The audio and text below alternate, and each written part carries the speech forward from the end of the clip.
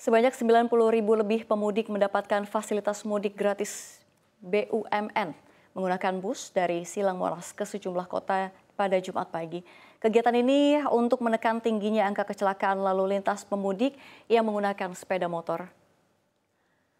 Program mudik gratis yang melibatkan 90 ribu lebih pemudik ini dilepas secara bersama-sama oleh Menteri BUMN Erick Thohir, Menteri Perhubungan Budi Karya Sumadi hingga PJ Gubernur DKI Jakarta Heru Budi Hartono. Menurut Erik, program mudik gratis ini merupakan program yang telah dibuat selama lima tahun berturut-turut dengan tingkat partisipasi sebanyak 88 perusahaan plat merah. Selain itu menekan tingginya angka kecelakaan lalu lintas pemudik yang menggunakan sepeda motor, kegiatan mudik gratis ini juga diharapkan dapat membantu masyarakat di tengah turunnya daya beli.